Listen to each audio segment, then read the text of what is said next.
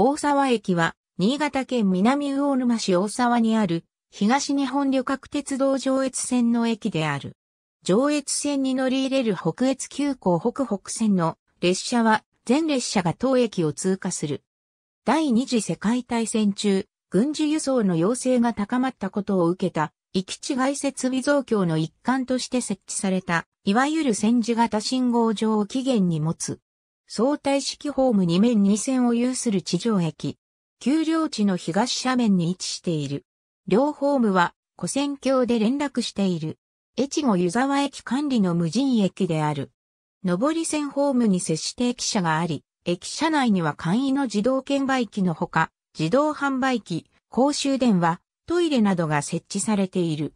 出札口などもあるがシャッターが降りている。前述の通り北北線は通過するため、十日町、直江津方面は6日、町駅で乗り換えとなる。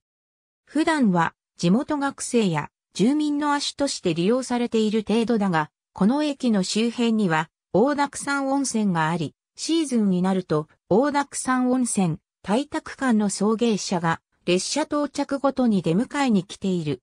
車窓からは駅前で利用客を出迎えている大宅間の旗を持ったスタッフが見えることがある。